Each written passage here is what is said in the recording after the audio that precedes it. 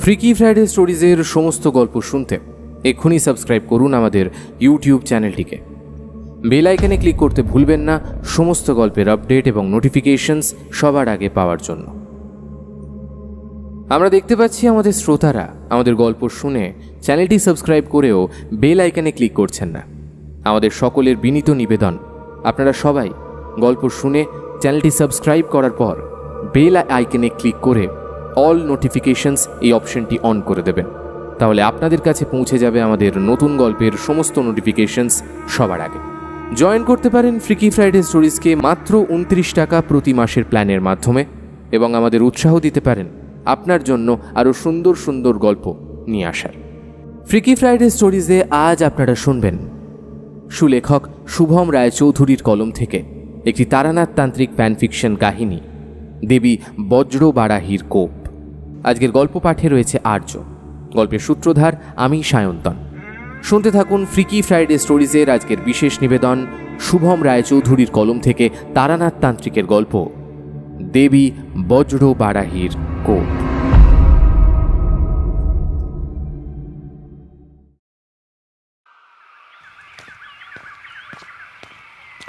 মাঝে মধ্যে একটা জিনিস বড্ড অদ্ভুত লাগে। যেন কিছু হরিহরের দোকান থেকে গরম গরম সিঙ্গারা কিনে মটলেনের পথ সবে ধরেছি। এমন সময় আকাশের দিকে তাকিয়ে কথাটা কিশোরীকে উদ্দেশ্য করে বললাম, এতক্ষণ দুজন চুপচাপ হাঁটছিলাম। হঠাৎ আমার এই হেন উক্তি শুনে কিছুটা কৌতূহলের সাথেই কিশোরী আমায় প্রশ্ন করল, কেন হে ভায়া? তা বিশ্ব সংসারের এমন কোন বিষয় এলো যে হঠাৎ করে তোমার মস্তিষ্কে অসামঞ্জস্যতার উদ্রেক ঘটালো? যে তুমি এরকম করে এমন কথা বলছো? কি ব্যাপার? কিশোরীর এই এক দোষ। সোজা কথা, সোজাভাবে না বলে কাব্যিক অঙ্গিক তাকে রাখতেই হবে। জানতাম স্বভাব দোষের প্রসঙ্গে গেলে মূল বিষয় থেকে সরে যাবে। তাই আসল কথাটাই বললাম, এই যে আমরা যখনই তারানাথের বাড়িতে যাই, তখনই আমাদের পেছন পেছন এই মেঘের দলকে আসতেই হয়। আমরা তো অন্যত্রও গমন করি। গ্রীষ্মের দাবদাহে যখন প্রাণ ধারণ করাটাই অসম্ভব হয়ে ওঠে। কই, তখন তো এনাদের মুখটুকুও দেখা যায় না। দেখো, এই প্রশ্নটা তুমি আগেও একবার করেছ। পরে নিজেই নিজের মতো করে যুক্তি খাটিয়ে চুপ করে গেছো।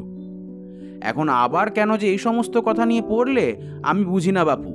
তবে হ্যাঁ আমার যা মনে হয়, এই জগতে কিছু কিছু ক্ষেত্রে এমন থাকে, যা কোনো কালই বদলানো সম্ভব নয়। বিধাতার অদৃশ্য অঙ্গুলি হেলনের দরুন তা চিরাচরিত আবর্তে প্রবেশ করতে বাধ্য। আমাদের তারানাথের বাড়ি যাওয়া এবং সাথে সাথে ওই বৃষ্টিপাত এটাও হয়তো তেমনই কোনো একটা আবর্তের উদাহরণ। কি জানি বাবু। হ্যাঁ আমি অত জটিল করে ভাবতে পারছি না আপাতত। নাও, চলো। চলো চলো, দেখি বাঁচালো দেখব তারপর গন্তব্যে পৌঁছানোর আগেই অকাল বর্ষণে কাকচান হয়ে গেছে আমাদের। জোরে জোরে পা চালাতে লাগলাম দুই বন্ধুতে মিলে। তার সাথে আমার সজাগ দৃষ্টি লক্ষ্য রাখছিল আকাশের ঈশান কোণে জমাট বাঁধতে থাকা নিকশ কালো মেঘের দিকে। গন্তব্যের দিকে আমরা যতই অগ্রসর হচ্ছিলাম, পাল্লা দিয়ে যেন ততই বাড়তে লাগল, মেঘের জমকালো রং। শেষটায় পরিস্থিতি এমন হয়ে দাঁড়াল যে এই আমরা তারনাথে চৌহদ দিতে পা রাখব আর ওই ঝমঝম করে বৃষ্টি নেমে আমাদের একেবারে ভিজিয়ে দেবে। শেষটায় অবশ্য তেমন কিছু হলো না। অবসম্ভাবী বৃষ্টি নামবো নামবো করেও কোনো এক অদৃশ্য শক্তির নিয়ন্ত্রণে কিছুটা সময়ের জন্য নিজের পতনকে আটকে নিল এবং সেই সুযোগে আমরা দুটিতে ঢুকে পড়লাম তারনাথের বাড়ি।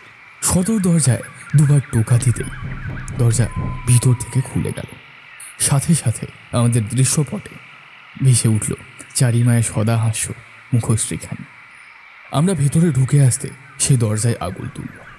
ঠিক সেই সময় সেই অদৃশ্য শক্তির নিয়ন্ত্রণ থেকে মুক্ত হয়ে বন্য পশুর ন্যায় বজ্র কঠিন হুঙ্কার ছেড়ে তীব্র আক্রোশের সাথে ধরিত্রীর বুকে নেমে এলো অশান্ত বাড়িধারা। কিশোরীর কথা বলতে পারি না। তবে আমার অবচেতনে এমনটাই মনে হচ্ছিল, যেন তারানাথে এই এক চিলতে একতলা বাসভবনের সাথে পার্থিব জগতের সমস্ত সম্পর্ক মলিন হলো ধীরে ধীরে। চারিকে জিজ্ঞেস করলাম, ঠাকুরমশাই কোথায় চারিমা? চারি কোনো কথা না বলে ডান হাতের তর্জনী তুলে বৈঠকখানার দিকে নির্দেশ করল। আমরা সেই দিকেই এগিয়ে গেলাম। বৈঠকখানায় প্রবেশ করতে তারানাথের দেখা মিলল। চিরাচরিত ভঙ্গিতে বৃদ্ধ বসেছিল তক্তপোষে তার নির্দিষ্ট স্থানে। আমাদের দেখে কিঞ্চিত গম্ভীর হয়ে বলল আজ তোমরা নাই আসতে পারতে দুজনে। বেশ অবাক হলাম। সচরাচর এমনটা কখনো ঘটে না। বার্ধক্যের এক বেহাল দশায় পৌঁছে তারনাথ সর্বদাই আমাদের আগমনের প্রত্যাশায় থাকে। সেইভাবে কারোর সাথে সখ্যতা না থাকায় এবং শারীরিক প্রতিবন্ধকতার কারণে খুব একটা বাড়ির বাইরে বের হন না তিনি। বেশিরভাগ সময়টাই তার ঘরে বসে কাটে। এই অবস্থায় আমরাই হলাম যাকে বলে তার দুঃসময়ের সঙ্গী। আমাদের সংস্পর্শে সে বেশ খোলামেলা হয়ে দুটো সুখ দুঃখের কথা বলে। সেই তারানাথ কিনা আজ বলছে আমাদের আজ না আসলেই ভালো হতো। ব্যাপার কি? জিজ্ঞেস করলাম ঠাকুরমশাই, এমন মন্তব্যের তাৎপর্য? তারানাথ প্রথমটায় কিছু বলল না। কেমন গম্ভীরভাবে চুপ করে বসে রইল। আমিও কিশোরী একবার একে অন্যের মুখ চাওয়াচাবি করে তারপর আবার তাকালাম তারানাথের দিকে। কি হলো বলো তো? কি জানি ভাইয়া আমারও যে মগজে কিছুই ঢুকছে না। আরও বেশ কিছুক্ষণ আমাদের অপেক্ষা করতে হলো তারানাথের কিছু বলবার জন্য। মিনিট দশেক মৌনব্রত পালন করার পর গাম্ভীর্যের রেশটা কাটিয়ে তারানাথ বলে উঠল তোমাদের হয়তো কোনোদিনও বলা হয়নি। বছরের আজকের দিনটা আমার মন বড়ই ভারাক্রান্ত হয়ে ওঠে। যে সমস্ত কাহিনী এতদিন যাবৎ তোমাদের শুনিয়েছি, তার অধিকাংশই আমার তান্ত্রিক জীবনের সফলতার। কিন্তু কখনোই ব্যর্থতার প্রসঙ্গ টেনে আনিনি। সেসব স্মৃতি আজও আমায় ধাওয়া করে বেড়ায়, ভয় দেখায়। বছরের নির্দিষ্ট সময় ফিরে ফিরে এসে আমায় ধিক্কার দিয়ে বলে, যে হে তারানাথ, যে তুমি কিনা এক সময় মধুসুন্দরী দেবী ও মাতু পাগলির আশীর্বাদ পেয়ে নিজেকে সর্বে সর্বা মনে করতে, সেই তোমার উপস্থিতিতেই কিনা অনাচার ঘটে গেল আর তুমি কিচ্ছুটি করতে পারলে না। নিতান্ত অসহায়ের মতো বর্ষতা স্বীকার করলে নিয়তির কাছে। তাহলে কিসের এত দম্ভ তোমার? হুম? কিসেরই বা আত্মপ্রত্যয়?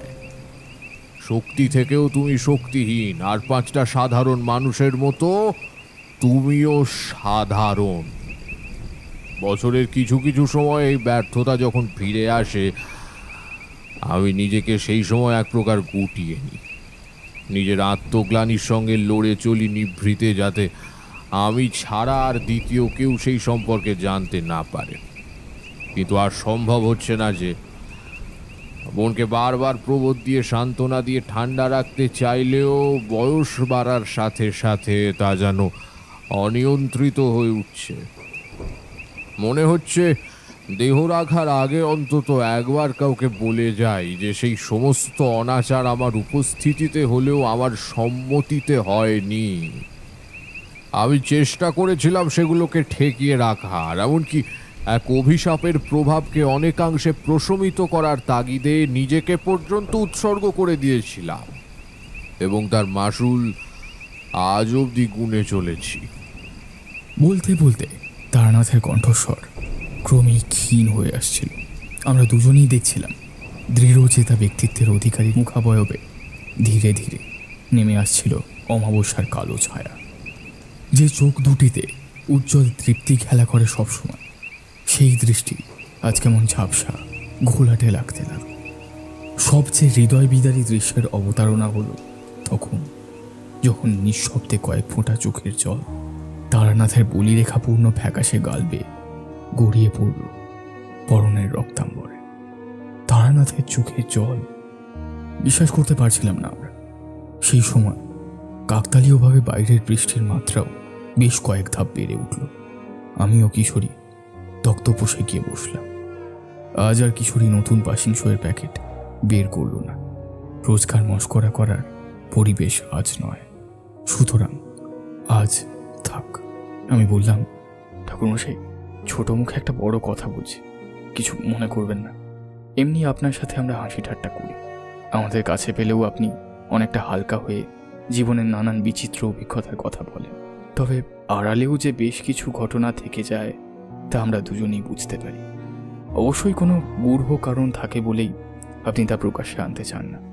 তবে আজ বলি কি, আপনার মনের বুঝটা আমাদের কাছে না হয় হালকা করুন। নতুন গল্পের রসদ হিসেবে নয়। আজ আপনি আপনার সাথে বলুন, আপনার বয়স হচ্ছে, অতটা মানসিক চাপ আপনার স্বাস্থ্যের পক্ষে ক্ষতিকারক। তার উপর চারির কাছে তার বাবাই সব। এবং আমরাও আপনাকে এমন হতাশাগ্রস্ত অবস্থায় দেখতে অভ্যস্ত নই।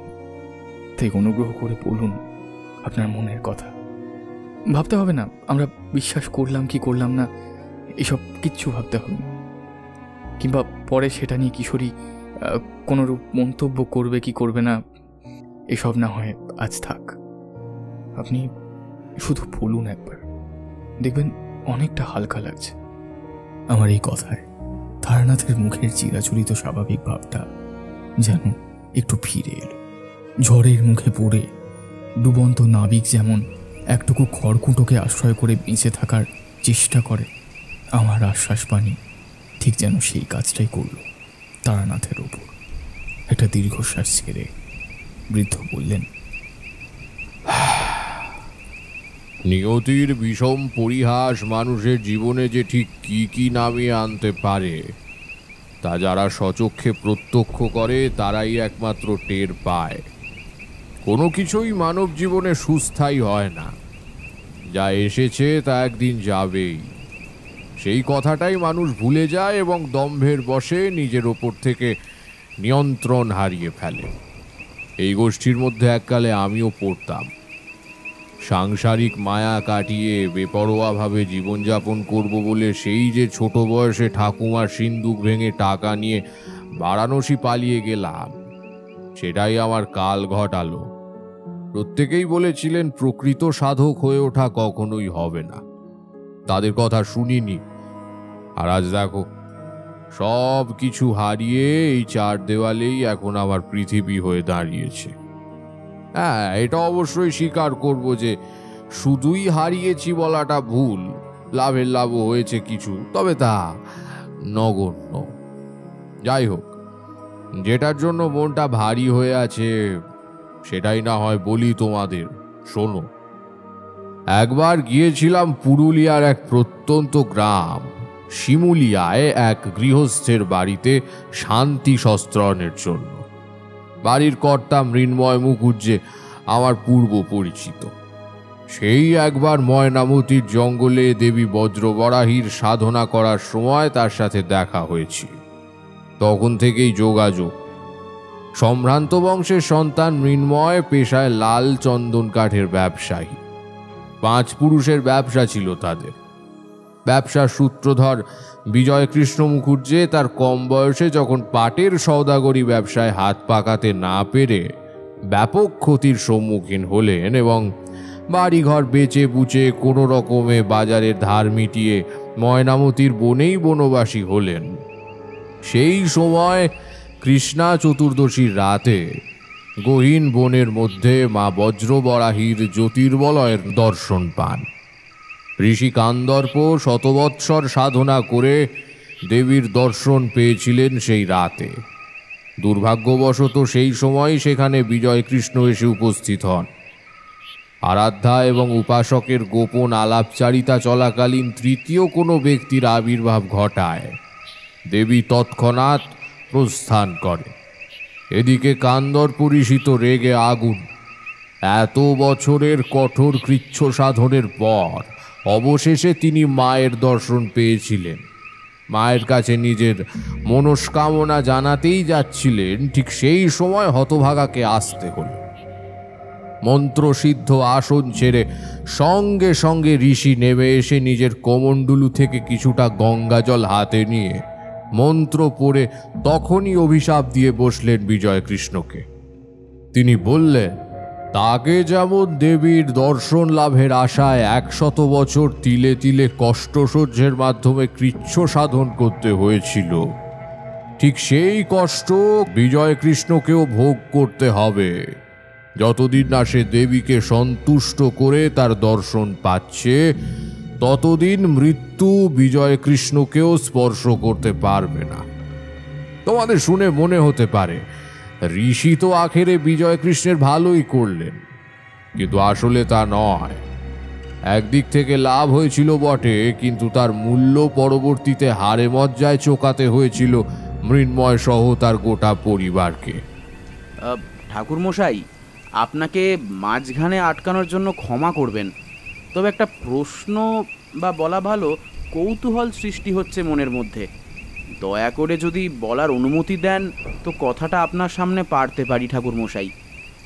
অন্যান্য দিনের মতো, আজও গল্পের মাঝে প্রথম বিরতিটা কিশোরী আনল। তবে তার ভাব প্রকাশের ভাষা শুনে সত্যিই অবাক হতে হয়। চিরকাল যেই মানুষটা ঠাট্টা তামাশা ছাড়া কিচ্ছু বলতো না। সে আজ বলার জন্য অনুমতি চাইছে। যাক, দেখেও ভালো লাগল। তারানাথের মনমরা অবস্থার কথা ভেবেই না হয় কিশোরীর একদিনের জন্য ভাব পরিবর্তন হলো। এইটাও বা কম কিসের? বোধ করি তারানাথ শত অবাক হয়েছে। ঠোঁটের কোণে মৃদু হাসি ফুটিয়ে ঠাকুরমশাই বললেন ওভাবে বলো না হে কিশোরী। চিনতে অসুবিধা হচ্ছে।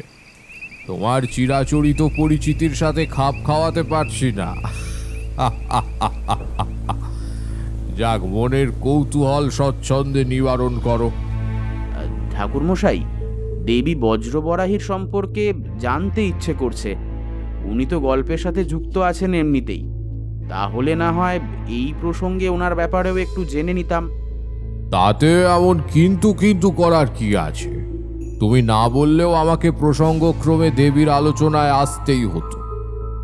তাও যখন শুরুতেই বলে ফেলেছ, তখন বলি, দেবী বজ্রবরাহী হলেন তান্ত্রিক বৌদ্ধ মতের এক জনপ্রিয় দেবী বজ্রযোগিনীর ছিন্নমস্তক দেবী।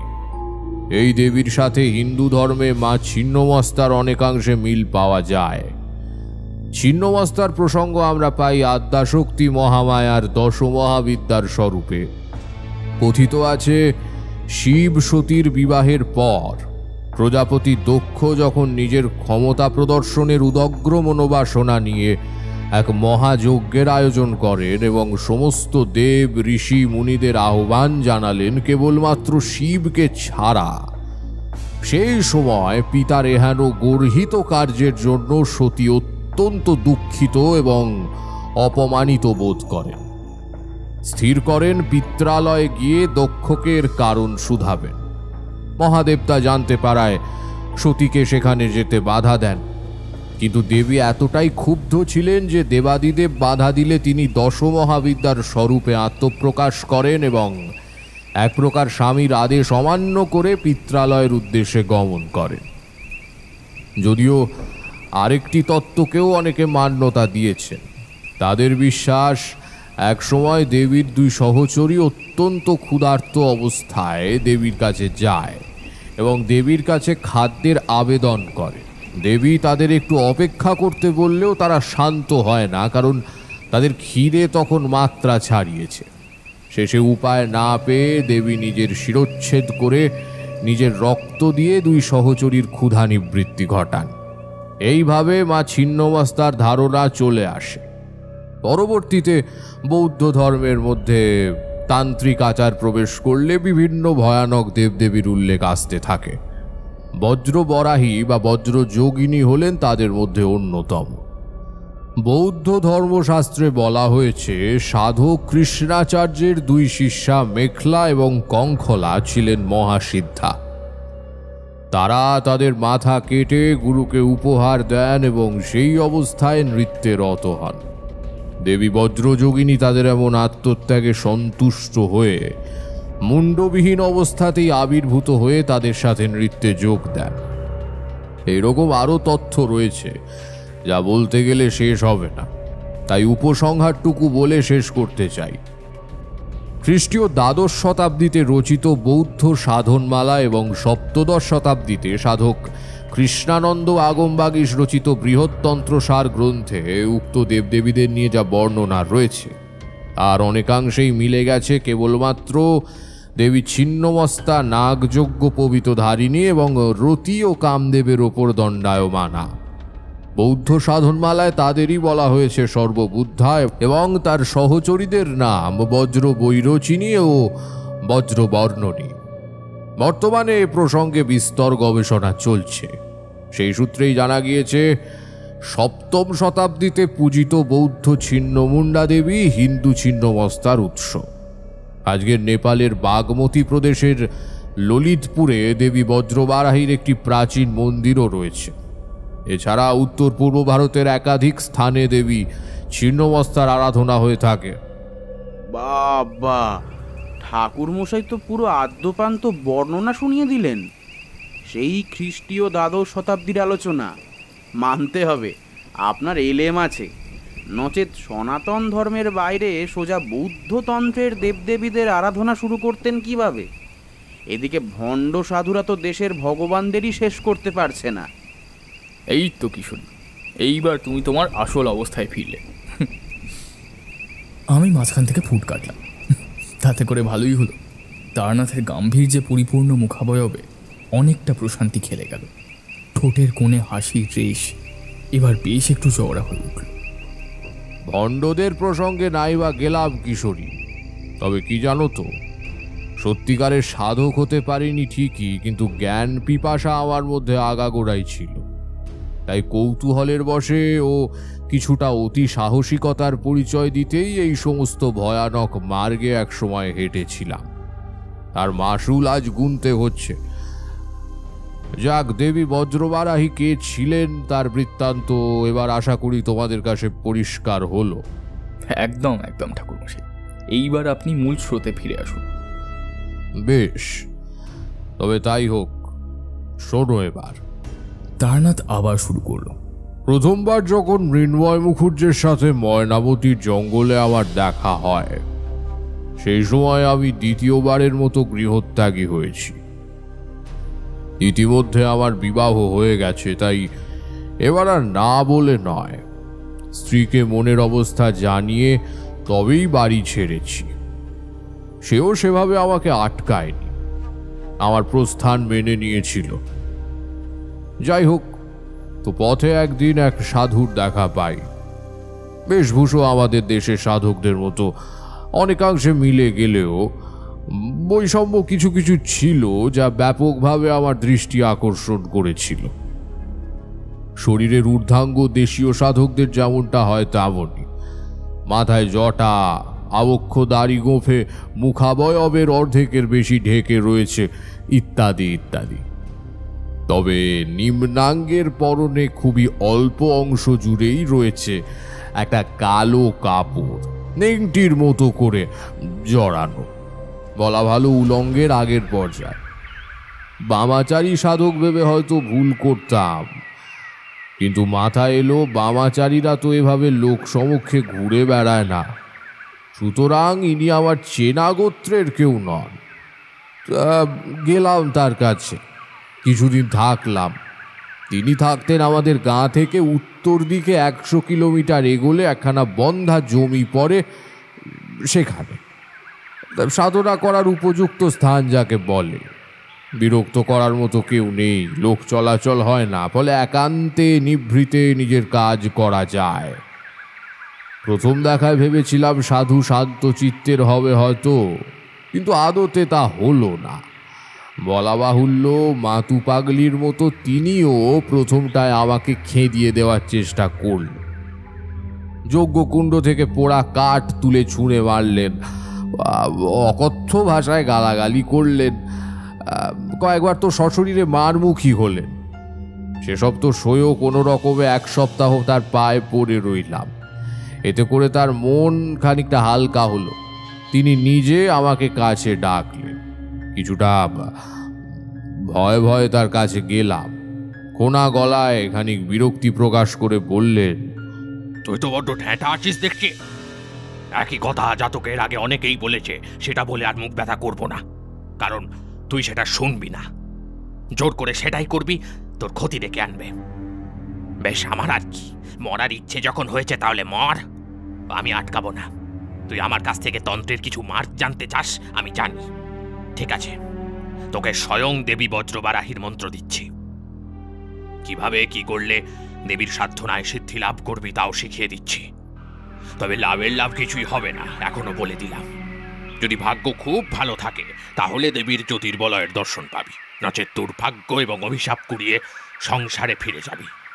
এবার বল, তুই কি তার জন্য প্রস্তুত? আমি আর কি বলতাম, সবই তো উনি নিজেই গড় করে বলে দিলেন।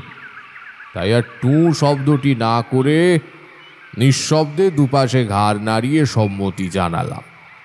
তবে লক্ষ্য করলাম এতে করে সাধক আরও ক্ষুব্ধ হলেন তখন বয়স অল্প, সাহস অদম্য।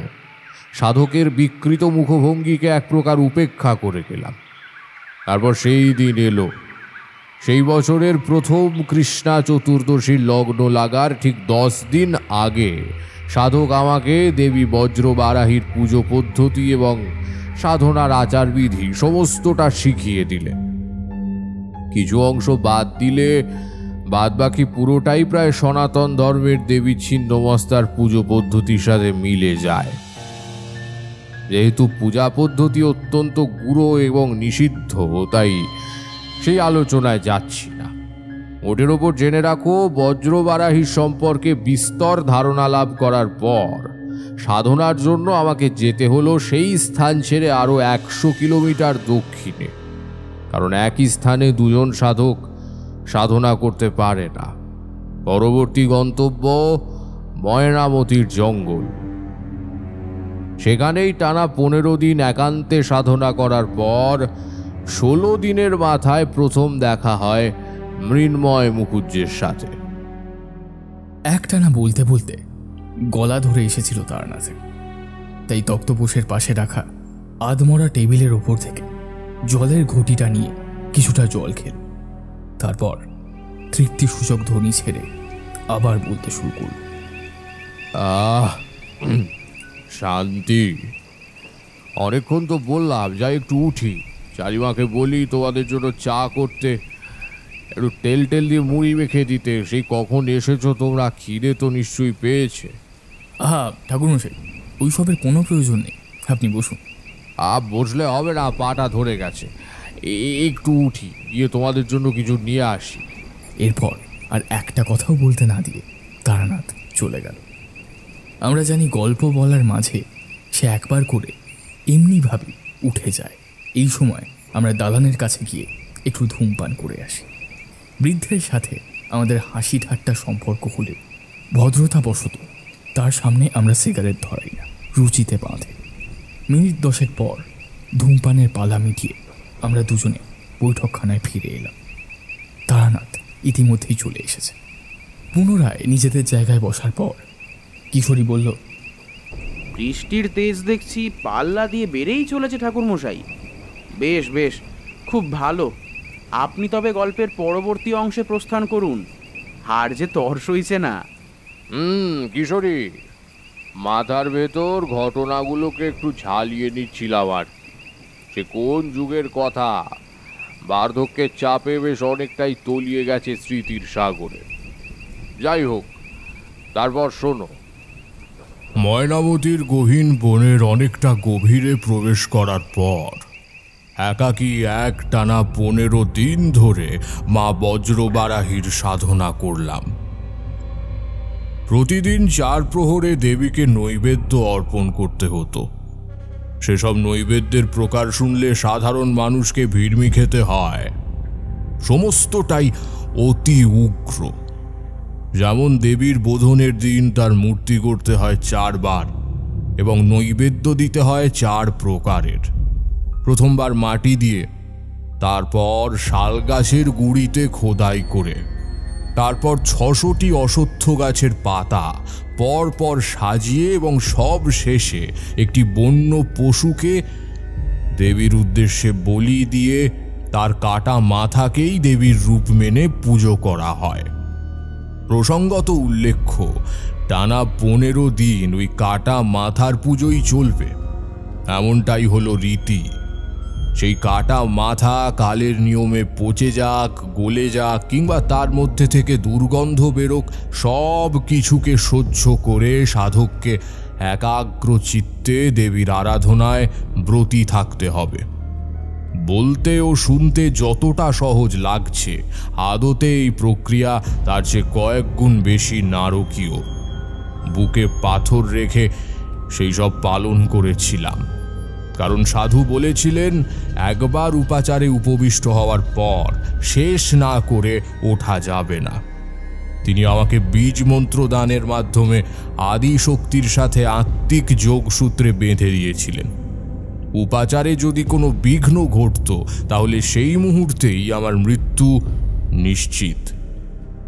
ষোলোতম দিন, ভোরবেলা।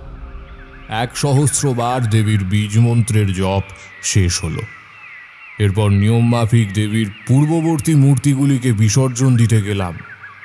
কেবলমাত্র মাটির মূর্তিকেই নদীর জলে ভাসাতে হতো। অপর তিনটেকে হতো পোড়াতে।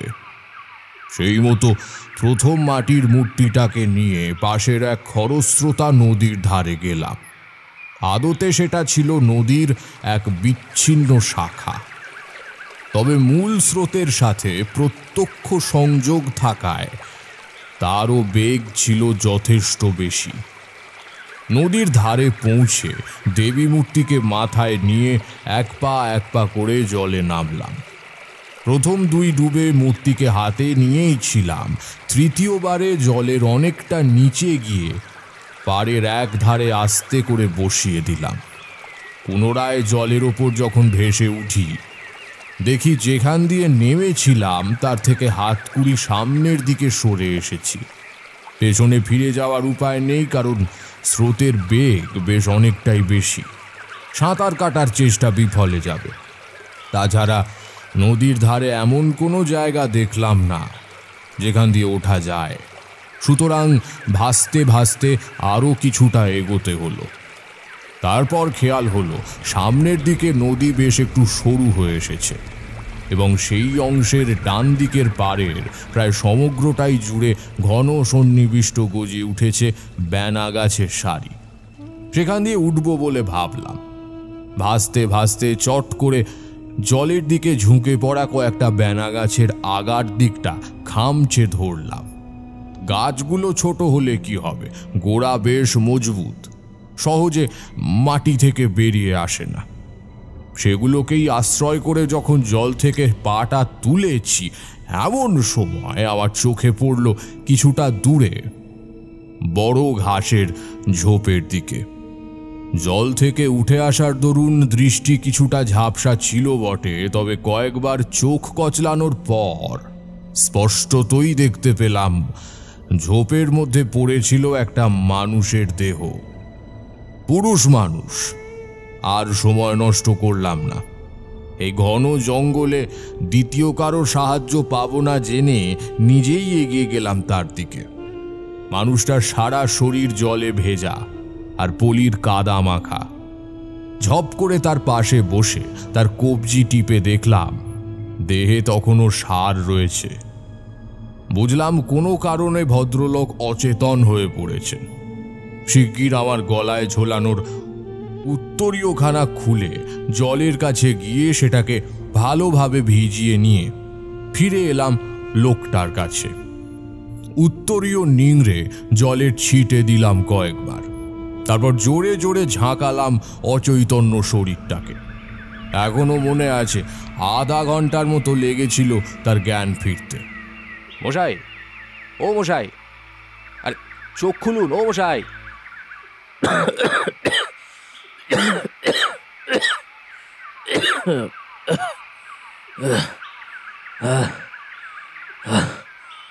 আমি আমি কোথায়? আপনি কে? আমি কে তা পরে জানবেন। আগে আপনি বলুন, এখানে কি, এলেন কি করে? আর আপনার সাথে হয়েছিলই বা কি যে আপনি এখানে এভাবে পড়েছিলেন? তার আগে আপনি এই এই, আমার হাতটা ধরুন। এ নিন। ধরুন ধরুন, উঠে আসুন। উঠে বসুন দেখি। বসুন হ্যাঁ হ্যাঁ বসুন। উঠুন উঠুন, আস্তে আস্তে হ্যাঁ হ্যাঁ। আপনি কে তা আমি জানি না, মহাশয়। তবে আপনাকে ধন্যবাদ দেওয়ার মতো কোনো ভাষা আমার নেই।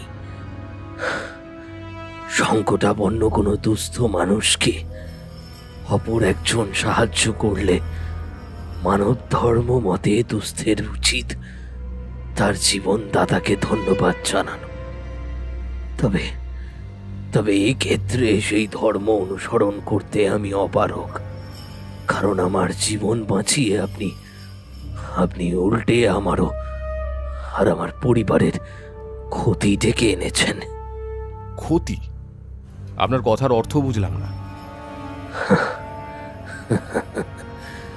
বুঝেও আর কোনো লাভ নেই। আমার এই জীবন এখন আর আমার নেই। বর্তমানে আমি কারোর ভোগে পরিণত হয়েছি। নিজের ঘর সংসার বাঁচাতে এই অপ্রতিরোধ শক্তির উদ্দেশ্যে আমি আমি নিজেকে সঁপে দিয়েছি। সেই কারণেই কাল নিজেকে উপসর্গ করে দিয়েছিলাম। কিন্তু আজ নিজেকে জীবিত অবস্থায় উদ্ধার করায় আতঙ্কে আমার আত্মহত্যা সিরিয়ে উঠছে। না জানি না জানি এবার কি সে করবে আমার আত্মীয় পরিজনের সাথে। শুনুন শুনুন, আপনি শান্ত হন আগে।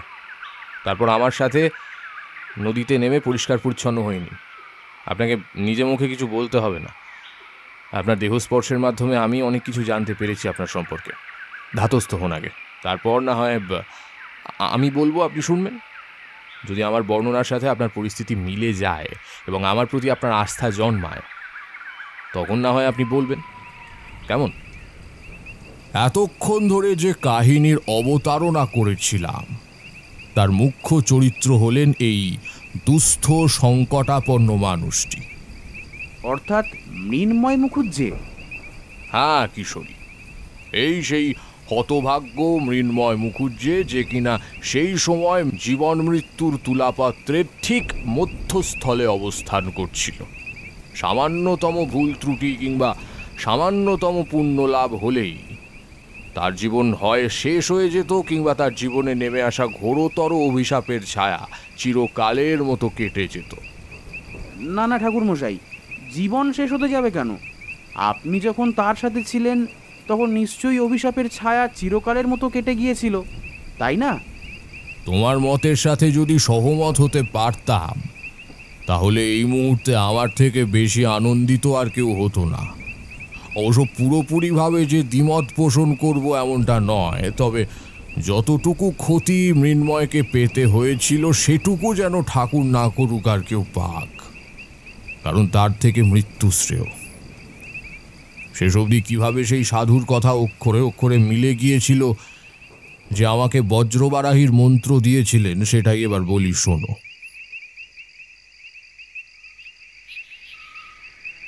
জ্ঞান ফেরার পর মৃন্ময় বেশ খানিক্ষণ সেখানেই একভাবে স্থানুর মতো বসেছিলেন।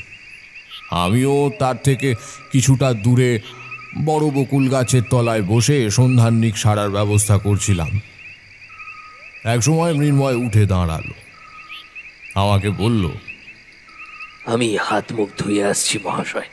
আপনি ততক্ষণে আহ্নিক সেরে নিন। কথাটা মৃন্ময় স্বাভাবিকভাবেই বলেছিলেন তবে কেন জানি না মনে হলো বলার ভাবের মধ্যে যেন কিছু একটা অসঙ্গতি রয়েছে। তৎক্ষণাৎ পেছন ফিরে মৃন্ময়কে দাঁড়াতে বললাম দাঁড়ান আপনি। এগিয়ে গেলাম তার দিকে। তার দৃষ্টির সাথে দৃষ্টি মিলিয়ে দৃঢ় কণ্ঠে বললাম, আপনি যে ভাবছেন নিজেকে উৎসর্গ করে আপনার পরিবারকে বাঁচিয়ে নেবেন আপনি এটা কি জানেন যে বজ্রবারাহীর ভোগ হিসেবে অর্পিত যে কোনো প্রাণী যদি কোনো কারণে অর্পণের পরেও জীবিত থাকে, তার মানে ধরে নিতে হয় যে সে দেবীর ভোগ হওয়ার অযোগ্য। জানেন এটা? আপ- আপনি কি করে মানে আপনার জ্ঞাতার্থে আরও কয়েকটা কথা বলি।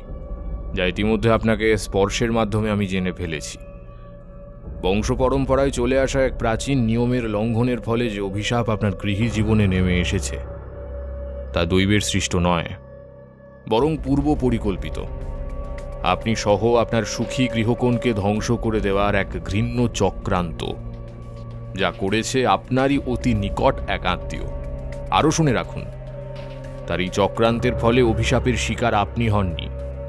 হয়েছে আপনার আট বছরের সন্তান তারাপদ। আপনি ভেবেছিলেন প্রথা মেনে দেবীর উদ্দেশ্যে নিজেকে আহুতি দিয়ে দেবেন এবং দেবী তাতে সন্তুষ্ট হয়ে তার দেওয়া অভিশাপ ফিরিয়ে নেবেন। এই তো। আদতে তা নয়। দেবী উগ্রবর্ণা হতে পারেন, তবে পাশবিক নন। তিনি জানেন প্রকৃত অপরাধী কে। সে কারণে আপনার অজান্তেই আপনাকে রক্ষা করেছেন আর আপনি কিনা আমার নজর এড়িয়ে পুনরায় যাচ্ছিলেন নিজেকে শেষ করে দিতে। বাহ!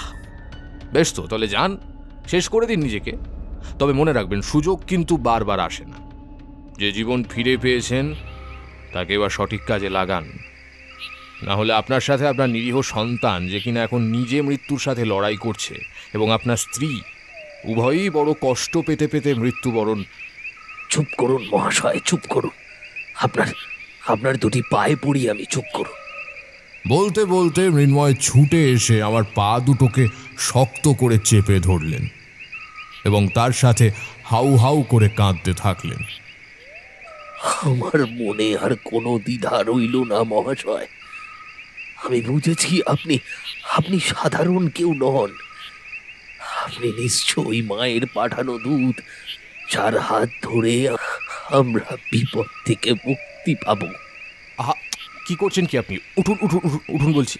উঠুন। দেখুন, আমি আপনার মতোই সাধারণ মানুষ। উচ্চস্থানে বসানোর মতো আমি কিচ্ছু করিনি। এ তো ভগবানের কৃপা। তার আশীর্বাদে আমি মানুষের বিপদাপন্ন অবস্থার কথা আগে থেকে বুঝতে পারি এবং সেই মতো দুস্থদের সাহায্যের চেষ্টা করি। আপনি আমার কথা বিশ্বাস করেছেন, আমাকে বিশ্বাস করেছেন আমারও কর্তব্য আপনাকে বিপদের হাত থেকে যে করেই হোক রক্ষা করা। আচ্ছা বাকি কথা পরে হবে। আপনি আগে যান, পরিষ্কার পরিচ্ছন্ন হয়ে আসুন। তারপর সবটা খুলে বলবেন আমায়। কারণ আমি বিপদের অনুমান করতে পেরেছি, তবে তার পেছনের গূঢ় রহস্য আপনাকেই উন্মোচন করতে হবে। আর দেরি করবেন না, হাতে বেশি সময় নেই। যান যান, শিগগিরই। মৃন্ময় মুখুজ্জে তড়িঘড়ি নদীতে নেমে নিজেকে সাফসূত্র করে ফিরে এলেন। তারপর সবিস্তারে বলে শোনালেন ইতিপূর্বে ঘটে যাওয়া তার জীবনের ভয়াবহ অভিজ্ঞতার কথা। মহাশয়, আজ যে বিপর্যয় আমার জীবনে নেমে এসেছে, তার সূত্রপাত আজ থেকে প্রায় চারশো বছর আগে ঘটে গিয়েছিল। আমাদের মুকুজ্জে বংশের পাঁচ পুরুষ পর্বের ধারক বিজয় কৃষ্ণ মুখুজ্জে এক প্রকার অভাবনীয়ভাবেই দেবী বজ্র বারাহির সাথে জড়িয়ে পড়েছিলেন। কান্দরপুর ঋষির অভিশাপে বিজয় কৃষ্ণ বেঁচেছিলেন প্রায় দুশো বছরের কাছাকাছি। কারণ ঋষি বলেছিলেন, যতক্ষণ না বিজয় কৃষ্ণ কঠোর কৃষ্ণ সাধনের মাধ্যমে দেবীর জ্যোতির বলয়ের দর্শন পাচ্ছেন, ততদিন তার আত্মার মুক্তি ঘটবে না। বিজয় কৃষ্ণ কীভাবে অভিশাপে জড়িয়ে পড়লেন, সে বিষয়ে পরে বলব, কারণ এক্ষেত্রে তা গৌণ। দুশো বছরের জীবদ্দশায় প্রায় অনেকটাই বিজয় কৃষ্ণ কাটিয়েছিলেন মায়ের আরাধনায়। ফলে মুকুজ্জে বংশের একদিক থেকে আগমন ঘটল ভাগ্য লক্ষ্মীর বিজয় কৃষ্ণের ছেলে রসিক কৃষ্ণ পিতার পুণ্য লাভের দরুন ব্যবসায়ী জীবনে ব্যাপক উন্নতি করলেন। তার হাত ধরেই আমাদের বংশে পাকাপাকিভাবে লাল চন্দন কাঠের ব্যবসার সূত্রপাত হলো। সৌভাগ্যের জোয়ারে ভেসে গেল আমাদের পরিবার। এদিকে বিজয় কৃষ্ণের কঠোর কৃচ্ছ সাধনায় তুষ্ট হয়ে দেবী বজ্রা বারাহিও একদিন আবির্ভূত হলেন।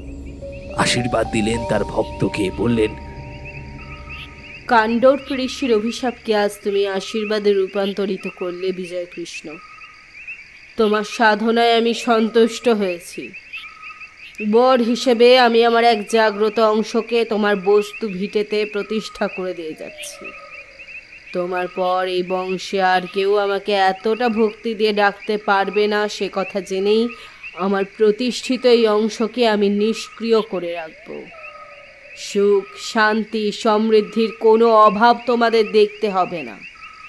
কেবলমাত্র ভিটের এই নির্দিষ্ট অংশে ছোট একটা মন্দির করে নিভৃতে আমার নিত্য পুজো করতে বলে যেও তোমার সন্তানকে।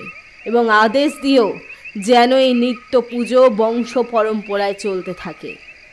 তবে সাবধান। ভুলেও আমার অতি প্রিয় কোনো ভোগ্য বস্তু যেন এই মন্দিরে না নিয়ে যাওয়া হয়। উপযুক্ত ব্যক্তি ব্যতীত অন্য কেউ যদি সঠিক পুজো পদ্ধতি না মেনে আমাকে ভোগ দেওয়ার চেষ্টা করে, তাহলে কিন্তু আমার সেই নিদ্রিত জ্যোতিখণ্ড জেগে উঠবে। তখন তাকে শান্ত করতে না পারলে সৌভাগ্য তো যাবেই। সাথে আগমন ঘটবে কল্পনাতীত অভিশাপ এবং বিপর্যয়ের। তাই সাবধান।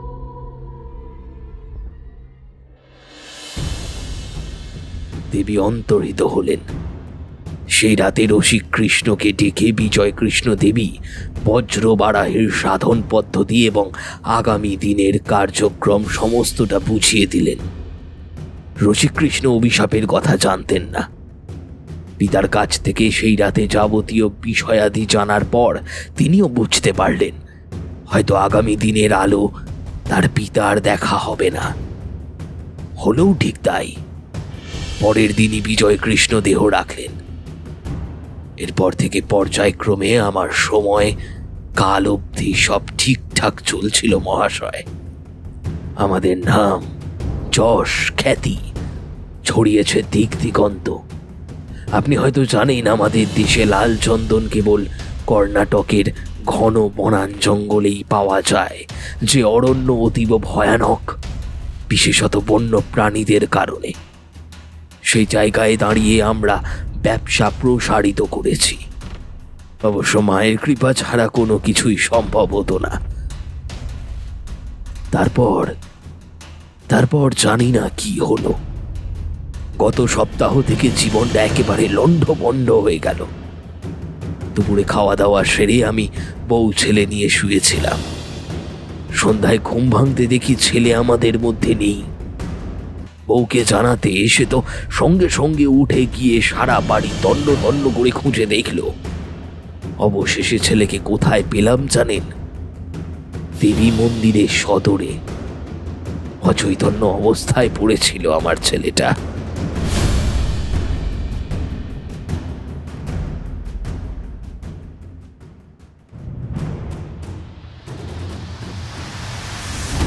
আর তার সামনে পড়েছিল একটি কুচকুচে কালো রঙের শুয়োরের মস্তকহীন দেহ। মন্দিরের সদর দরজা হাট করে খোলা ছিল। স্ত্রী এই দৃশ্য দেখে তখনই ভয়ে মূর্ছা গেল। কারণ ও জানত দেবী বজ্র বরাহি রক্ত খাকি দেবী। জীবিত প্রাণীর গরম রক্ত তার অন্যতম প্রিয় ভোগ। আমার মনটাও কু গাইতে শুরু করল। ছেলে আমার বয়সে অনেকটাই ছোট হলেও ছোট থেকেই। তার মা এবং আমি তাকে খুব ভালোভাবে শিখিয়ে দিয়েছিলাম ওই মন্দিরের আশেপাশেও যেন না যায়। ছেলে আমার খুবই বাধ্য। কোনোদিনও কথার অমান্য করত না। তাহলে এমনটা কীভাবে হলো বুঝে উঠতে পারলাম না। তখনের মতো তাকে তুলে এনে কল ঘরে নিয়ে গিয়ে ভালো করে ধুইয়ে মুছিয়ে দেওয়া হলো। চোখে মুখে জলের ঝাপটা দেওয়া হলো। কিন্তু জ্ঞান আর ফিরল না। আমি রাত বিরেতেই গেলাম কবিরাজ ডাকতে। আমাদের গায়ের নাম করা কবিরাজ, খুব নাম করা যাকে বলে ধন্বন্তরী। তিনি হলেন ঠিক তাই। তাকে পর্যন্ত আনা হলো, কিন্তু তিনিও ছেলের জ্ঞান ফেরাতে পারলেন না। সেই রাত থেকে যে অশান্তি শুরু হলো, তারপর চলতেই থাকল। জানেন মহাশয়, এত বছরের ব্যবসায় কোনো দিন যা হয়নি, সেই ঘটনা ঘটল ঠিক তার পরের দিন। চন্দন কাঠ বোঝাই করা চারটে গাড়ির ওপর ডাকাতরা আক্রমণ করল। বিশেষভাবে পাহারা দিয়ে এত বছর ধরে আনা হতো, এমন কোনো দিনও শুনিনি। এতে করে অনেক টাকার লোকসান হলো। তার ঠিক পরের দিন বাড়িতে মজুদ করা ধানের গোলায় আগুন লেগে গেল। পুকুরে চাষের মাছ মরল। এছাড়াও আরও কত কি যে ওই কদিনে ঘটতে দেখলাম, মহাশয়। বলতে শুরু করলে আর শেষ হবে না।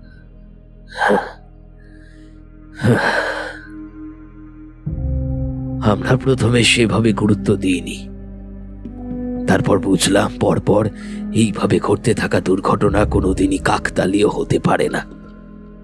ছেলেটারও শরীর ক্রমশই ভাঙতে থাকল। ডাক্তার পদ্যি তাবিজ, কবচ সব কিছুই করলাম, কিন্তু কিন্তু কোনোই কিছু লাভ হলো না। বললে বিশ্বাস করবেন না, এক সপ্তাহের মধ্যে আমাদের পাঁচ পুরুষের তৈরি করে যাওয়া নাম, যশ, যা ছিল যা ছিল, সব নিমেষের মধ্যে সে সব মাটিতে মিশে গেল। শেষটায় মনোবল হারিয়ে আমি তো ঠিকই করেছিলাম, এভাবে বেঁচে থাকার চেয়ে মরে যাওয়া খুবই ভালো। আমার স্ত্রী তখন আমাকে আটকালো। বলল, আমাদের গাঁয়ের ঠাকুর মশাই দিগম্বর চট্টোপাধ্যায়কে একবার জানাতে। তাকে এই একমাত্র শেষ আশা ভেবে সবটা জানানো হলো। তিনি শুনে দুটো দিন সময় চাইলেন। তৃতীয় দিনের মাথায় আমাদের বাড়ি এসে নিজেই জানিয়ে গেলেন এই সবের পিছনের আসল কারণ। দেবী বজ্র বারাহির কোপ নেমে এসেছে আমাদের সংসারে। তার হাত থেকে বাঁচতে হলে একমাত্র উপায় কৃষ্ণ চতুর্দশীর রাতে ময়নামতির জঙ্গলে গিয়ে এক টানা পনেরো দিন দেবীর বীজ মন্ত্রের জপের মাধ্যমে নানা আচার বিচারের দ্বারা দেবীকে সন্তুষ্ট করার চেষ্টা করা এবং এবং পনেরো দিনের শেষ দিন দেবীর চরণে পরিবারের যে কোনো একজনকে উৎসর্গ করে দেওয়া। দেবীর কৃপা হলে এতেই তিনি শান্ত হবেন, নচেত আর কোনো রাস্তা নেই।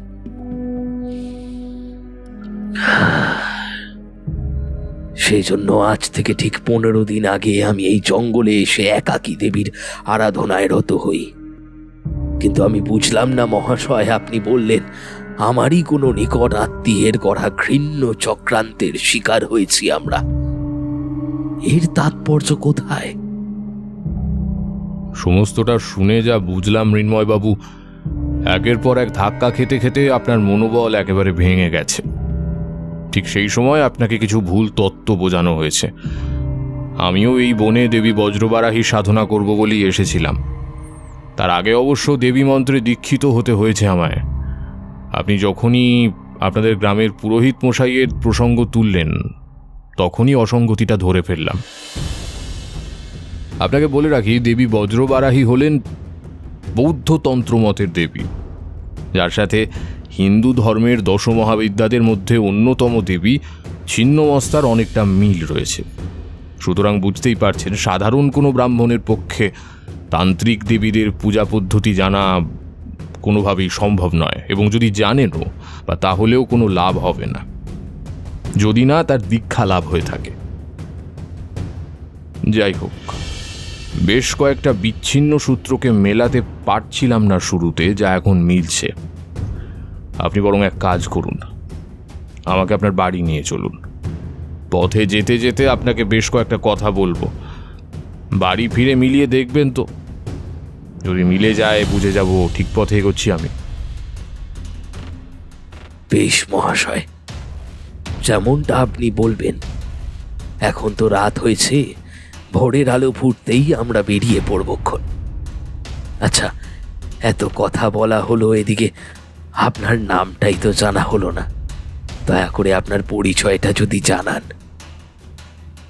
এভাবে বলবেন না মৃন্ময় বাবু আমি আপনার মতোই একজন সাধারণ মানুষ। পথে ঘাটে ঘুরে বেরিয়ে স্বল্প কিছু অভিজ্ঞতা এবং সাধু সংঘের মাধ্যমে যেটুকু শক্তি অর্জন করতে পেরেছি, তার কারণেই জনসেবা করি মাত্র। পিতৃদত্ত পরিচয় জানতে চাইলে বলব, আমি তারানাথ চক্রবর্তী এবং বর্তমানে লোকমুখে আমার খ্যাতি হয়েছে তান্ত্রিক হিসেবে। তারা আমায় বলে, তারানাথ তান্ত্রিক।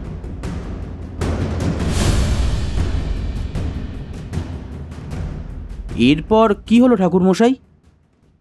অত্যুৎসাহী কণ্ঠে কিশোরী জিজ্ঞেস করল এই বর্ষাতেও তার সারা শরীর ঘামে ভিজে উঠেছে যখন? তার মানে বুঝতে হবে সে প্রচণ্ড একাগ্রতার সাথে তারনাথের কথাগুলো প্রায় গিলছিল এতক্ষণ ধরে।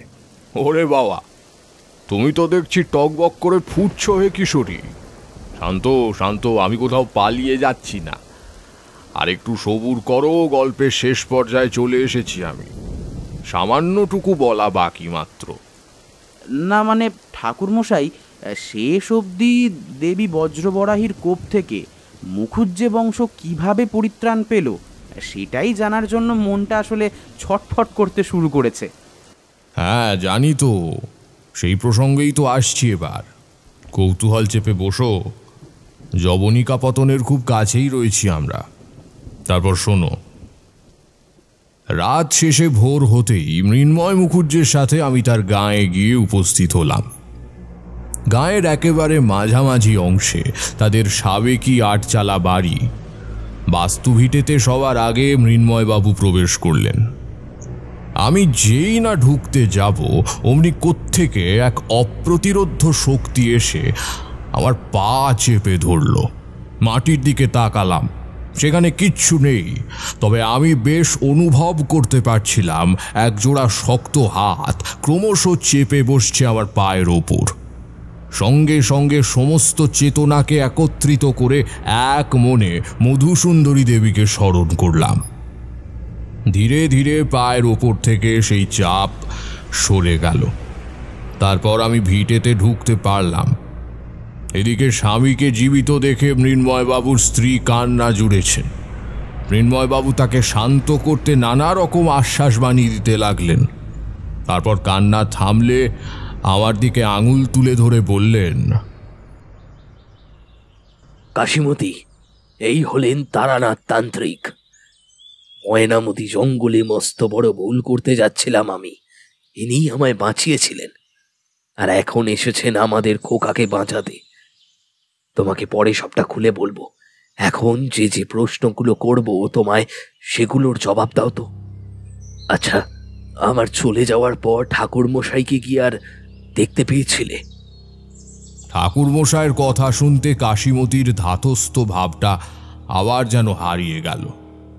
তার জায়গায় এসে স্থান করে নিল বর্ণাতীত ভয়ের রেশ। কাঁপা কাঁপা গলায় সে বলল ঠাকুর মশাইকে আর দেখব কি করে গো? উনি যে নেই। তোমার চলে যাওয়ার পরের দিন মাঝ রাতেই যে ওনাকে নৃশংসভাবে হত্যা করেছে ওই দুটো মেয়ে। আমি তখন জেগেছিলাম, খোকার মাথায় জল পট্টি করছিলাম। সেই সময় শুনতে পাই ঠাকুর মশাইয়ের প্রাণঘাতী মরণাত্মনাদ। শব্দটা ভেসে এলো আমাদের কুলদেবীর মন্দিরের দিক থেকে। সঙ্গে সঙ্গে আমি বাইরে বেরিয়ে এসে দেখি মন্দিরের সামনে অন্ধকারের মধ্যে দাঁড়িয়ে আছে দু দুটো ছোট ছোট মেয়ে। দুজনের শরীর থেকে নির্গত হচ্ছে দু ধরনের দুটি লাল এবং হলুদ। অন্ধকারে তাদের অবয়ব স্পষ্টভাবে দেখতে না পেলেও এইটুকু বুঝেছিলাম, তারা দুজনেই ছিল বিবস্ত্র এবং দুজনের হাতে ধরা ছিল শানিত খড়গ। দুজনে ঠাকুর মশাইয়ের মুন্ডুহীন মৃতদেহটাকে ঘিরে পাগলের মতো হাসতে হাসতে নেচে চলেছিল। তাতে সেই উত্তম নৃত্য দেখলে যে কোনো সুস্থ মানুষের আত্মারা মুহূর্তের মধ্যে খাঁচা ছাড়তে বাধ্য। আমি আমি একটায় দাঁড়িয়ে শ্বাস চেপে ধরেছিলাম, কিন্তু আর পারছিলাম না। সামনের বিভৎস দৃশ্য সহ্য করতে না পেরে নিঃশব্দে ঢুকে এসেছিলাম ঘরের ঠিক সেই সময় পায়ে লেগে দাওয়ায় রাখা প্রদীপটা উল্টে পড়ে নিভে যায়। সেই শব্দে মেয়ে দুটোর হুঁশ ফেরে। সঙ্গে সঙ্গে তারা নাচ থামিয়ে মন্দিরের মধ্যে ঢুকে পড়ে।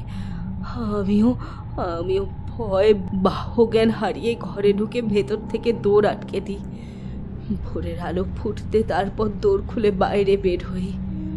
ঠাকুরমশাইয়ের মুন্ডুহীন দেহটা তখনও একইভাবে মন্দিরের বাইরে পড়েছিল। আমার সাহস হয়নি সেদিকে যাওয়ার। পাশের বাড়ি থেকে রমেশ কাকাকে ডাকি। তিনিও এই সব দেখে লোক জড়ো করে মৃতদেহটা সরিয়ে নিয়ে যাওয়ার ব্যবস্থা করেন। ও ও আরও একটা কথা। ওই দিনে ঠিক তিন দিনের মাথায় মাঝরাতে আবারও একইভাবে তীক্ষ্ণ মরণার্তনাদ শুনতে পাই আমি। বাইরে বেরোনোর আর সাহস হয়নি আমার। সকালে উঠে আবার আগের বারের মতোই কাকাকে ডেকে পাঠাই। তিনি মৃতদেহ সরানোর ব্যবস্থা করেন। আমি কেবল এইটুকু দেখেছিলাম দেহের একটা হাত নেই। আর পরনে ছিল নেংটির মতো করে শ্বেত বস্ত্র জড়ানো। কি বললে তুমি?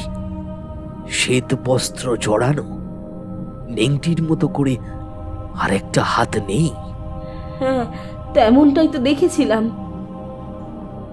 দূর থেকে দাঁড়িয়ে আমি স্বামী স্ত্রীর কথোপকথন শুনছিলাম। লক্ষ্য করলাম দ্বিতীয় মৃতের দৈহিক বর্ণনা শুনে এবার মৃন্ময়বাবুর মুখভঙ্গি বদলে যাচ্ছে। তিনি যেন কিছু একটা বুঝতে পেরেছেন, এমন মনে হতে লাগল তার চোখ মুখ দেখে। তিনি সঙ্গে সঙ্গে আমার দিকে ফিরে বললেন, শুনলেন মহাশয়, শুনলেন। কাশিমতি কি বলল শুনলেন? এক হাত নেই আর পরনে সাদা কাপড়, নেংটির মতো জড়ানো। এর মানে আপনি বুঝতে পারছেন? না মৃন্ময়বাবু আমি বুঝতে পারিনি। তবে এটুকু নিশ্চিত যে আপনি কিছু একটা নিশ্চয়ই বুঝতে পেরেছেন। দুঃস্বপ্নেও ভাবিনি যে এইভাবেও ফিরে আসবে। ভবিষ্যৎবাণীকে সত্যি করে দিতেও ফিরে আসবে। মৃন্ময়বাবু আপনি কার কথা বলছেন? পদ্মভূষণ মুকুজ্জের নামটা শুনে এবার চমকে উঠল কাশিমতি। ছোট ঠাকুরপো ও হঠাৎ কোত্থেকে এলো এখানে?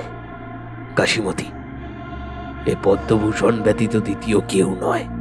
মৃন্ময়বাবু আগে আপনি একটু শান্ত হন শান্ত হন আপনি। আমাকে জানান আপনার ভয় পাওয়ার কারণটা কি? মহাশয় পদ্মভূষণ আমার ছোট ভাই। আমাদের তিন ভাইয়ের মধ্যে সব থেকে চেদি এবং এক কোঁড়ে কোছের ছিল। কাশিমতি ওকে কোনোদিনও দেখেনি কারণ আমার বাবা ওকে এ বাড়ি থেকে দূর করে দিয়েছিলেন আমার বিয়ের আগেই। তাই ওকে চাক্ষুষ দেখার সুযোগ কাশিমতির হয়নি। হারানো যোগসূত্র মিলে যাচ্ছে মহাশয়। মিলে যাচ্ছে। হারানো যোগসূত্র? হ্যাঁ হ্যাঁ যোগসূত্র। আপনাকে তাহলে সংক্ষেপে বলি।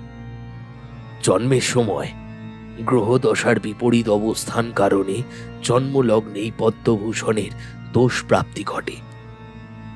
পূর্ণগ্রাস চন্দ্রগ্রহণের দিন ও জন্ম হয়। জন্মের দিনই গৃহপুরোহিত ও ঠিকুজি কুষ্টি গণনা করে জানিয়ে দেন যে এই সন্তানই মুহুজ্জে বংশের সর্বনাশ ডেকে আনবে। এ অবস্থানের সাথে অলক্ষীর অবস্থানের কোনো পার্থক্য থাকবে না। যতদিন যাবে, এর একরোখা জেদি স্বভাব অনৈতিক কার্যকর্মের সাথে যুক্ত হতে থাকার প্রবণতা সবকিছু বাড়তে থাকবে যা বংশের জন্য ক্ষতিকর। তাই তিনি এই বিধান দিয়েছিলেন যেই সদ্যজাত জীবন্ত অবস্থায় মাটিতে পুঁতে দিতে। কিন্তু বাবা তখন এতটা কঠোর হতে পারেননি। তিনি ভেবেছিলেন সত্য এবং ন্যায়ের পথে রেখেই ছেলেকে মানুষ করবেন। কিন্তু বিধির লিখনকে খণ্ডন করে এমন সাধ্যি কারই বা আছে বলুন। আজ পর্যন্ত কেউ পারেননি। বাবাও পারলেন না। পরবর্তীতে এই সুচিন্তা খুবই বাজেভাবে পর্যবসিত হয় পদ্মভূষণের দ্বারা। একদিন খেতে লাঙল দেওয়ার সময় সামান্য কথা কাটাকাটি লাগে তার এক চাষির সাথে। এই সামান্য কথার জন্য রাগের মাথায় লাঙল তুলে পদ্মভূষণ দিলে চাষির বুকে আমুল বসিয়ে। বাবা ছিলেন রকচটা স্বভাবের মানুষ। তার কানে খবর যেতেই তিনি আর মাথা ঠিক রাখতে পারলেন না। দুপুরে তিনি খেতে বসেছিলেন। ভাতের থালা ছেড়ে মাছের কাঁটা, আঁশবটিটা তুলে তখনই খেতে যান। মা তো বাবার এই স্বরূপ দেখে মূর্ছা গেলেন। আমি রইলাম বাড়িতে মায়ের কাছে। দাদা ছুটলেন বাবাকে আটকাতে, কিন্তু শেষ রক্ষা আর হলো না। দাদা যখন খেতে পৌঁছলেন, দেখলেন পদ্মভূষণ মাটিতে পড়ে ছটফট করছে আর তার একটা হাত পড়ে আছে তার থেকে কিছুটা দূরে। বাবা তার সামনে দাঁড়িয়ে তার এই অবস্থা দেখে পাগলের মতো হাসছেন এবং বলছেন, নে নে তো সমস্ত জারি শেষ করে দিলাম। এই হাত দিয়ে তুই যত পাপ কাজ করিস, তাই না? এখন আর তোর হাতটাও নেই। দেখি তুই কি করে বাঁচিস। সালা মানুষ করতে চেয়েছিলাম, অমানুষ তৈরি হয়েছিস তো? নে, এবার তার শাস্তি ভোগ কর। বাবার এমন হিংস্র প্রতিমূর্তির মুখোমুখি হয়ে তাকে শান্ত করবার সাহস দাদার হয়নি। তাই সে ভয়ে পালিয়ে আসে। কিছুক্ষণ বাদে বাবাও ফিরে আসেন। তার সর্বাঙ্গে তখন রক্ত মাখা মা তাকে দেখে থরথর করে কাঁপছেন। বাবা দূর থেকে দাঁড়িয়ে আমাদের সকলকে উদ্দেশ্য করে বললেন শুনে রাখো তোমরা সকলে।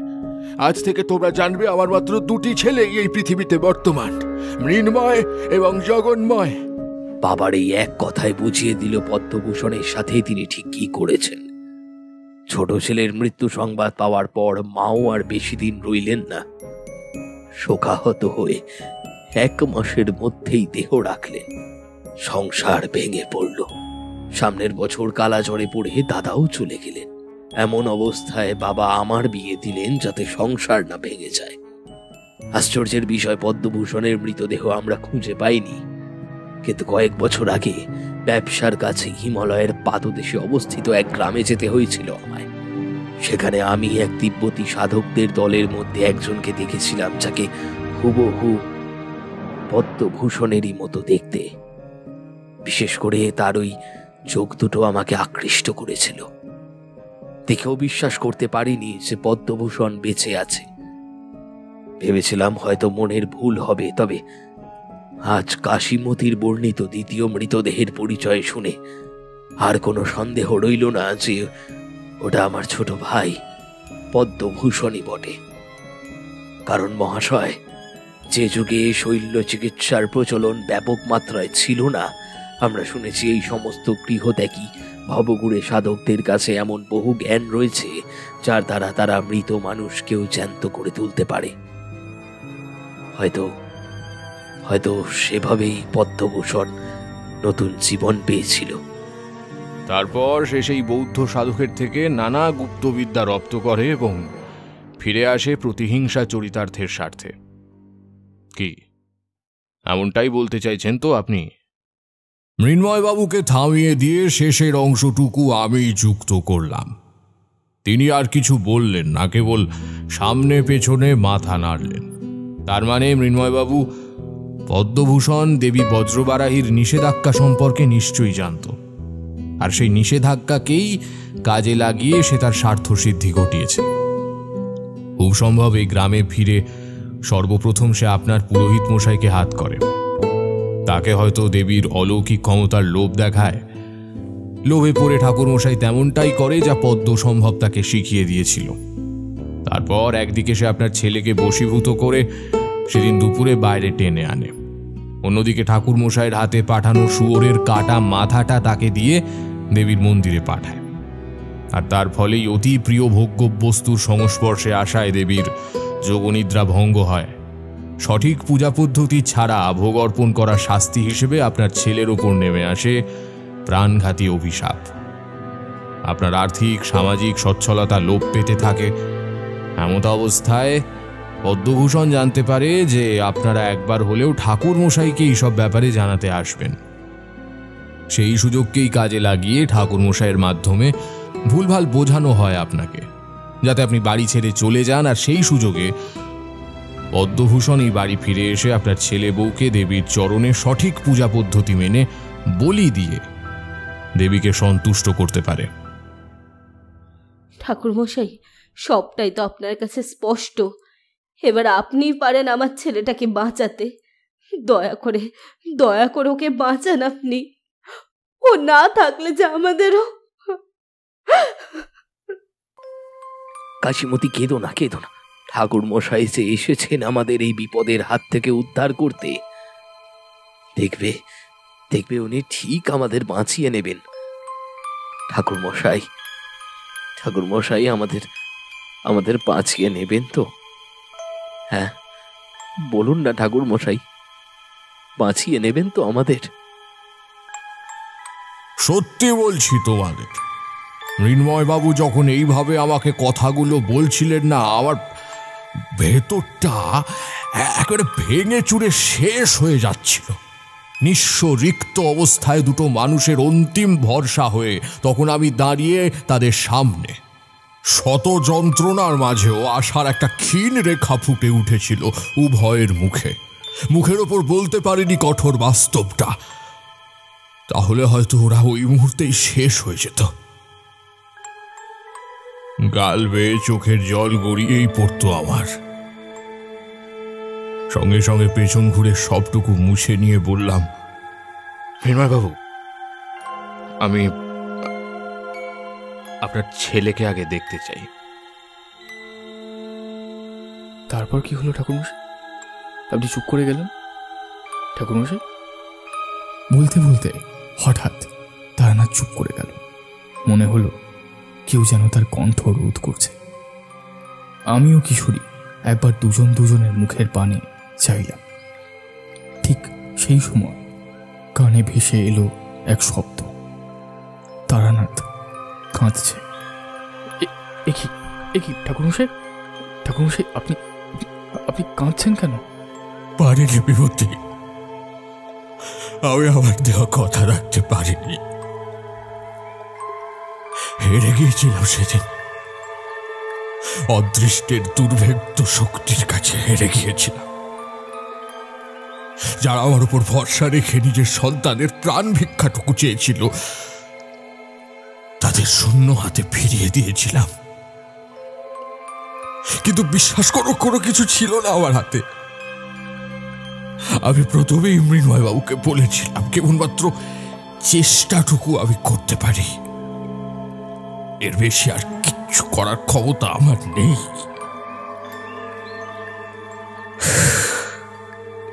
কিন্তু শেষে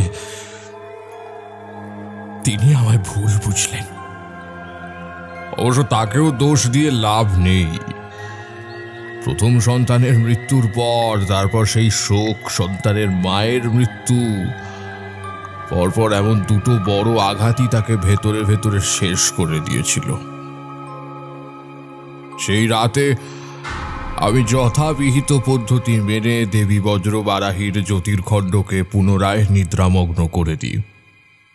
তিনি তার ভোগ গ্রহণ করলেন তবেই শান্ত হলেন।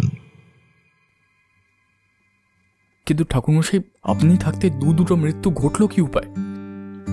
মৃত্যু যে ঘটবেই সে তো জানা ছিল আমার। তারও নির্দিষ্ট কারণ রয়েছে। পদ্মভূষণ বৌদ্ধ সাধকদের সাথে থাকতে থাকতে যেহেতু তান্ত্রিক মার্গে দীক্ষিত হয়েছিল, তাই সাধনার মাধ্যমে সংকল্প করেছিল মৃন্ময়বাবুর ছেলেকে মায়ের ভোগ হিসেবে অর্পণ করার পূর্বে। শেষ রাতে যখন দেবী পূজা শেষ করি দেখি মন্দিরের ভেতর থেকে দুটো কালো নারী অবয়ব বেরিয়ে এসে ছুটে গেল খোকাকে যে ঘরে শোয়ানো ছিল সেদিকে। আমি কিছু বুঝে ওঠার আগেই তারা আবার বেরিয়ে এলো। একজনের হাতে ধরা ছিল খোকার কাটা মাথা, অপরজনের হাতে মুন্ডুহীন দেহটা। তাদের বাধা দেওয়ার পরিবর্তে দু হাতে, দু হাত প্রণামের ভঙ্গিতে উঠে এসেছিল আবার। কেন জানো? কারণ তারা ছিলেন দেবী বজ্রবারাহির দুই সহচরী। বজ্র বৈরচিনী এবং বজ্র বর্ণিনী এরপর আর আমি সেখানে থাকিনি। অহেতুক শোকাহত মৃন্ময়বাবুর ওপর আর বোঝা হয়ে থাকতে ইচ্ছে হয়নি। খারাপ লাগছিল, কষ্ট হয়েছিল। তা সত্ত্বেও চলে এসেছিলাম ভোরের প্রথম আলো ফুটতে। এই ঘটনার ঠিক এক মাস পর মৃন্ময়বাবুর ঠিকানায় একটি চিঠি পাঠিয়েছিলাম। সেখানে সবিস্তারে জানিয়েছিলাম মৃন্ময়বাবুকে যে কত বড় বিপদের হাত থেকে তাদের গ্রাম রক্ষা পেয়েছে কেবলমাত্র তার পুত্রের আহুতির কারণে। নিয়তিকে কেউ খণ্ডাতে পারত না। পদ্মভূষণের হাতেই মুখুজ্জে বংশের পতন লেখা ছিল। যেভাবে শ্রীকৃষ্ণ পুত্র সাম্যের হাতে যদু বংশের তবে পার্থক্য একটাই শাম্ভ কেবল বংশের পতন ডেকে এনেছিল আর পদ্মভূষণ বংশের পাশাপাশি গোটা গ্রামের। দেবী হলেন রক্ত খাকি। তার এই রক্ত তৃষ্ণা মেটানোর জন্য তার দুই সহচরী প্রতি তিন দিন অন্তর একজন করে মানুষকে হত্যা করে দেবীর চরণে অর্পণ করত। সূত্রপাত হয়েছিল দিগম্বর চট্টোপাধ্যায়ের মাধ্যমে। সেই মারণ লীলাকে সমাপ্ত করতেই আমি সজ্ঞানে মৃন্ময় বাবুর ছেলেকে বলি হতে দিয়েছিলাম। কারণ সংকল্পকৃত ভোগ দেবী গ্রহণ করবেনি, নতুবা তার ক্রোধাগ্নি ভস্য করে দিতে পার অসংখ্য নিরীহ প্রাণেদের। তাই আমি তার সন্তানকেই যথাযথভাবে অর্পণ করেছিলাম দেবীর চরণ যুগলে। এবার তোমরাই বলো, কোন অপরাধে, অভিযোগে অভিযুক্ত করা উচিত আমাকে? তারনাথ বলা শেষ করল, তবে শেষে একটা প্রশ্ন চিহ্ন এঁকে দিয়ে আমরাও কিছুক্ষণ ধরে ভাবলাম, তারনাথের প্রশ্নের যথাযথ উত্তর দেওয়ার চেষ্টা করলাম। শেষে বললাম ঠাকুর ঠাকুরমশাই, সৃষ্টির আদি থেকে আজ অব্দি ইতিহাস দেখে এসেছে। বৃহৎ স্বার্থের উদ্দেশ্যে ক্ষুদ্র ক্ষুদ্র বলিদান দিতে হয়েছে এই সমাজকে। এই সমাজেরই কোনো ব্যক্তি সেই কাজ করেছে। অভিশাপও তিনিই কুড়িয়েছেন। সবশেষে রক্ষা পেয়েছে সমাজ, সভ্যতা। জয়গান রচিত হয়েছে সেই ব্যক্তিত্বকে নিয়ে। শ্রীকৃষ্ণ যে মহাভারতের যুদ্ধ হতে দিয়েছিলেন, গান্ধারীর কোপ তাকেও সহ্য করতে হয়েছিল। তার জন্য কৃষ্ণের আত্মগরিমা কি কোনো অংশে প্রভাবিত হয়েছিল? না, হয়নি। তাই আপনাকেও এতটুকুই বলব, যা কিছু শুভ, তাকে উপভোগ করুন। আর যা কিছু অশুভ তাকে নিয়তির পরিহাস হিসেবে মেনে নিই আদতে মেনে নেওয়ার নামই তো জীবন। কি, কিশোরী? একদমই তাই ভায়া। Acceptance is the reflection of our life কখনো কখনো কিছু জিনিস মেনেই নিতে হয় ঠাকুরমশাই। কারণ যা আমরা বদলাতে পারব না, সেখানে মানিয়ে নেওয়াটাই শ্রেয়।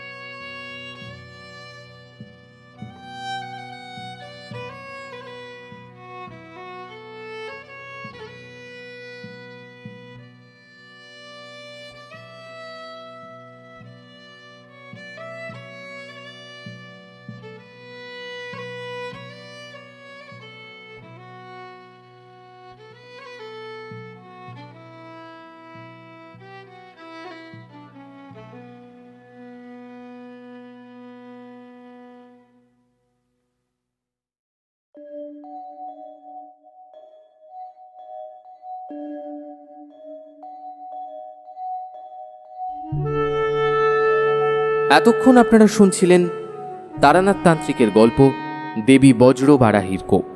রচনা শুভম রায়চৌধুরী।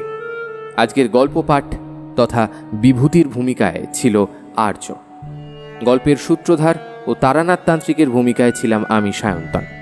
কিশোরীর ভূমিকায় ছিল রমাকান্ত। এছাড়া অন্যান্য চরিত্রে আমার সাথে ছিল তৃষা এবং সৌরভ। এই গল্পের নাট্যরূপ নির্মাণে ছিল দুর্বা। শব্দ সংযোজনে ছিল পিয়ালি। এই গল্পের আবহ সংগীত ও স্পেশাল এফেক্টসে ছিল আর্য ও শঙ্খ। এই গল্পের নাট্যরূপ নির্মাণে ছিল দুর্বা। এই গল্পের প্রচ্ছদ নির্মাণ করেছে পিক্সেলেট থেকে সৌভিক। কেমন লাগল আজকের গল্পটা? যদি গল্পটা আপনাদের ভালো লেগে থাকে, অবশ্যই ভিডিওটিকে একটি লাইক করে দেবেন। চ্যানেলটা সাবস্ক্রাইব করতে ভুলবেন না। বেল আইকনে ক্লিক করে দেবেন সমস্ত গল্পের আপডেট এবং নোটিফিকেশনস সবার আগে পাওয়ার জন্য। সবাই ভালো থাকবেন, সুস্থ থাকবেন। আগামী পর্বে আবার দেখা হবে আপনাদের সাথে আরও একটা নতুন গল্প নিয়ে। নমস্কার, শুভরাত্রি।